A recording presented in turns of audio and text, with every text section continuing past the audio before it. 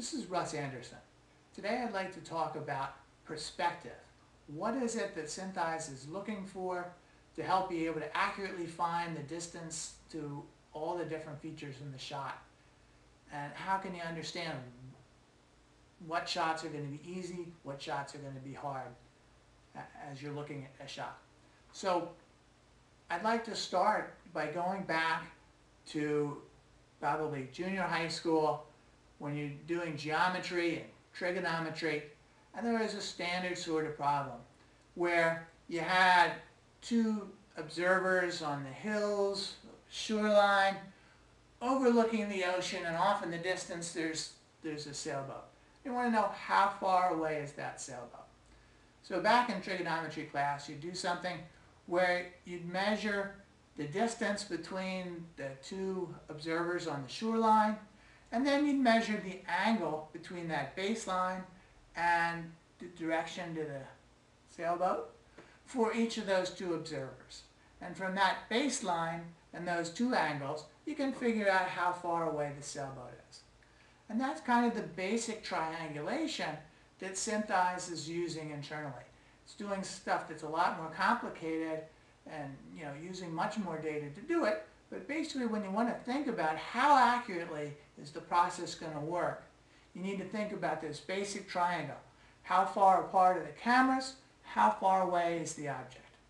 So in a situation like this, the process can be fairly accurate. And to think about the accuracy, all you have to do is, is think about what happens at the camera.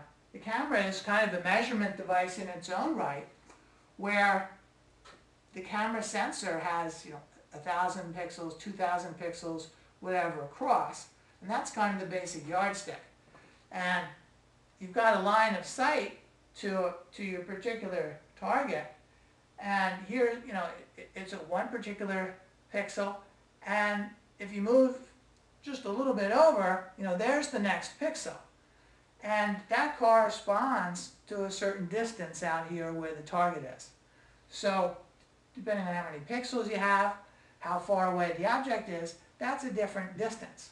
And when you're triangulating like this, get kind of the intersection of those two different triangles, and that says how far away or how near um, can the boat or feature be and still fall in those same pixels inside each of the two cameras.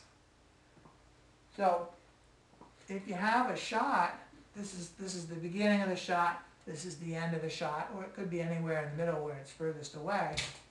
Know, if the picture looks like this, here I've got a very narrow and skinny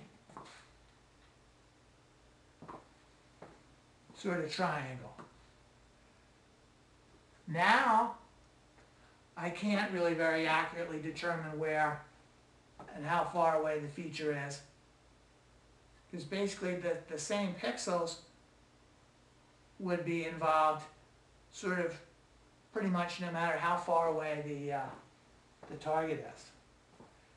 And in the limiting case, you get down to this situation where here's the, the camera and it's sitting on a tripod and now I'm just spinning the tripod around and the line of sight to the target is, is always the same. So it's falling on a different pixel inside the camera as the camera is moving around, but the line of sight is the same and there's no triangle at all. So there's no way to determine the distance to the target and you know, we call that a far tracker. There's only a distance to it. You'll see it displayed within SynthEyes, uh, at, always at a fixed distance away from the camera that's determined just by the world size value. It's just kind of arbitrary. So that's what happens when you have a tripod mode shot.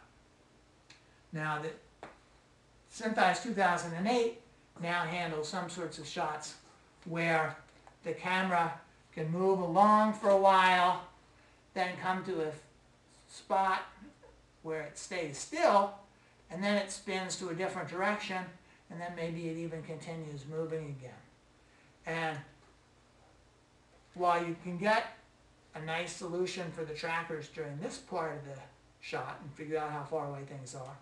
During the panning part, any of those trackers that are visible only during the panning part, they're all far trackers. You can't determine how far they are.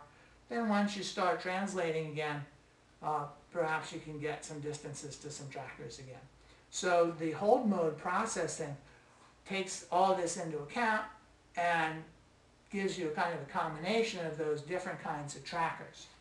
So I, what I hope you get from this is that whenever you're looking at a shot and you think about how it was made, you should be thinking about what is this baseline between the two cameras? How, how long is that distance compared to the distance to the features? So, you know, the same foot may be a perfectly adequate baseline for something that's only two feet away. But that same foot between the two trackers isn't really going to help you very much if the thing that you're looking at is actually, you know, 100 meters away. So you have to keep in mind what the relationship is between those two values in determining how good of a shot it's going to be, um, whether you're going to have tripod mode or uh, a mixture, you know, a hold mode shot or whatever. And one other thing to think about also is just what are the range of distances that are involved in the shot. If everything is a fixed distance away, there's a lot less information than if some things are up closer and some things are farther away. Because when it can see both those different kinds of distances, that lets it determine what kind of, you know, exactly what the motion was more accurately. Thanks a lot. Hope this helps you understand what you're looking at and what you're looking for when you have a shot.